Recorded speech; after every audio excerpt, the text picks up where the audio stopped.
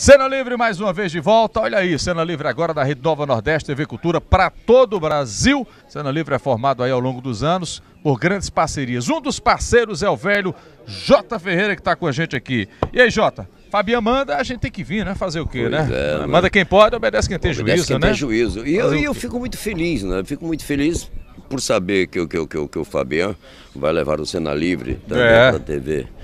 Ah, agora a TV Nova ela começou a ter uma, uma importância extraordinária. É a partir do momento ah. que foi celebrada essa parceria com a Rede Cultura de Televisão. Cultura, é verdade. A proposta da cultura que o Pedro Paulo está seguindo rigorosamente e arrisca Tá dando certo. Já é. Tá dando As certo. pessoas gostam de qualidade, né, Jota? As uhum. pessoas gostam de coisas boas na televisão. Como é que tá lá a sua vida? Nós temos um horário agora que foi escolhido pela, pela produção, que será de 11h30 ao meio-dia. Um boa. programa diário, boa. ao vivo, né? Eu, eu acho muito bom, até porque a proposta nossa não é derrubar ninguém, nem coisa alguma. Ué, fazer, ocupar mas, o espaço. Exato, mas é bom lembrar que a TV Nova agora é um acontecimento aqui verdade, em Pernambuco, verdade, né? Verdade. Valeu o esforço de... Não, de, de, tem uma programação ampla, tudo, tá vindo né? aí. Cena Livre, uhum. né, já tá todo domingo a partir das 10 da noite. O Roda Viva, Roda Viva. Tô né? chegando com Roda Viva Pernambuco, uhum. então a coisa é bem, bem bem pesada, né? É, essa coisa da. Muda muito, Jota. O formato de televisão, a, o jornalismo, o, o telespectador, ele mudou. Pô, você começou na TV na década de 80, né? Ou foi 70? Década da década de 70. Pronto, você começou uhum. na década de 70 uhum. e aí vem 70, 80, 90, anos 2000, já estamos aí em 2015. Uhum. E esse que você se mantém aí no ar. Qual é o segredo, Jota? É fazer o produto que o povo gosta?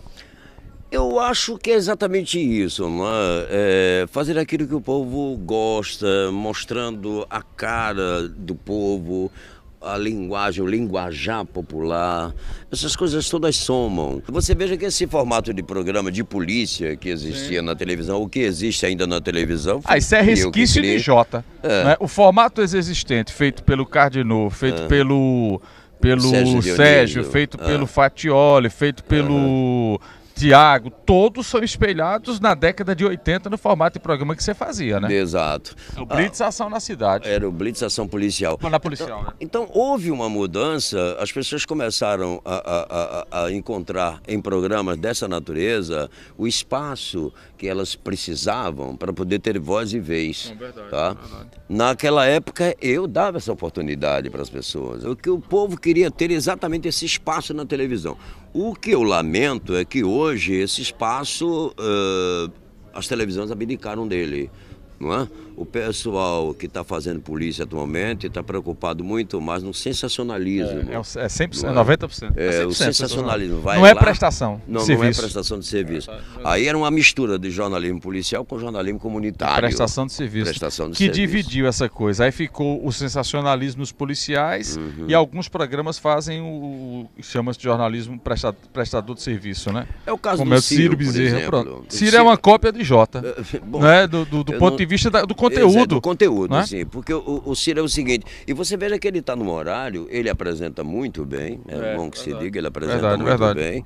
E o que o povo quer é isso, é se ver na televisão. É, o povo. O povo quer se ver na TV. O povo quer ter a oportunidade é, agora, de falar. Jota, uma, e aí você tem que dizer a verdade. Essa característica do povo, quem levou para a TV foi você também quando fazia as reportagens. Uhum. Tanto no Aqui Agora, uhum. quanto na própria TV Jornal, por muitos pois anos. É. A cara da reportagem de câmera aberta, de uhum. resolução de problemas, que anos depois o Celso Russomano passou a fazer, passou a fazer. em São Paulo. Né? Então, essa coisa ela, ela tem um nascedor aqui, né? Exato. Estado, através e um você. detalhe interessante, Aldo, eu saía para fazer as reportagens, coisa que hoje as estrelas não querem. Não, ninguém quer ir para a rua. É, as estrelas não querem é, mais ir para a rua, você não, não querem fazer reportagem, tem sempre um repórter para fazer por eles, aquele é negócio todo. É verdade. Eu acho isso um absurdo.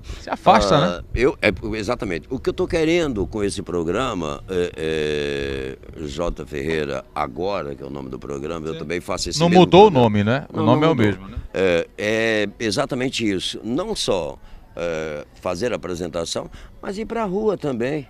E fazer matéria de comunidade e ouvir o povo, não é?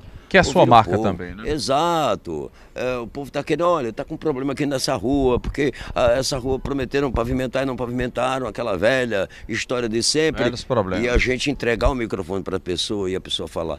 Quantas e quantas vezes eu estava na rua para fazer uma reportagem e porque sabe que tem gente que tem um vício de chegar e pegar o microfone. É normal. Então quando pegava o microfone, não pode ficar com ele, vai falando, vai falando, vai falando, vai falando, vai. E a pessoa falando e, fazendo a reportagem. E a câmera é. acompanhando é. e ele diz, olha, tá vendo aqui, acolá, aquele negócio todo.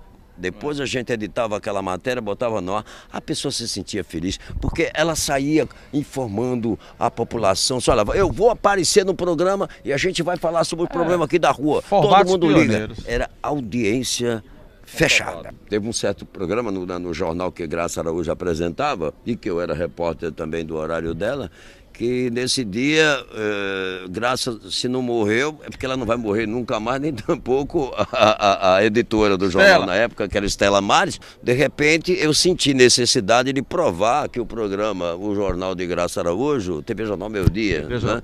TV Jornal Meio Dia. Na, na época, TV Jornal Meio Dia, era programa do Meio Dia. Programa do Meio Dia. Era visto.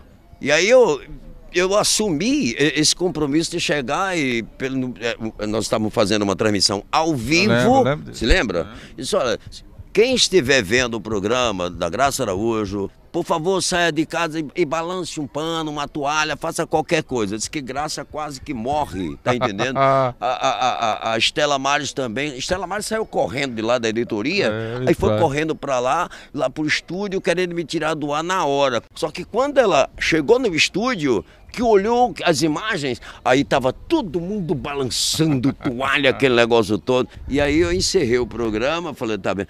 Tá convicto agora, graças a que você é a maior audiência do horário? Aí terminei o feedback, programa dessa Quero forma. feedback. Jota, Cena hum. Livre agradece a você, obrigado pela presença. Agora a gente vai se ver mais. E bom tê-lo aqui e estar na casa também. Bom, eu fico muito feliz, parabéns ao Fabiano, seja bem-vindo, é? Ao companheiro Aldo Vilela, eu gosto desse neguinho, viu? É de muito tempo, não é de agora não, de muito tempo. De muito eu tempo. gosto desse neguinho. De muito tempo. Tá bom, e a gente continua aqui na TV Nova Nordeste. Boa sorte, muito obrigado. Valeu!